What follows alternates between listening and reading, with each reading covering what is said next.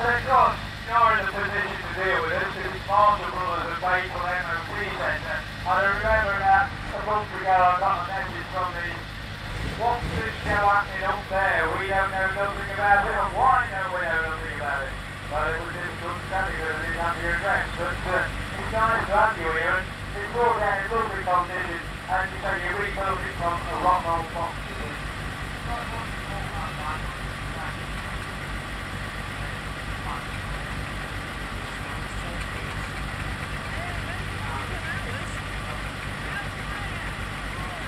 Smile, you're on camera.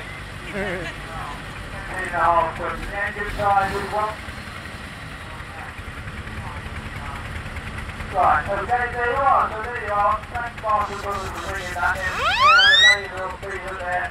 Working, lovely condition there. And uh, from Maple MOT Centre. Right, okay. Well, a little bit of outside for me now, ladies and gentlemen. Talking about the vehicle, not the driver. We know it's an one. But, um, this is a,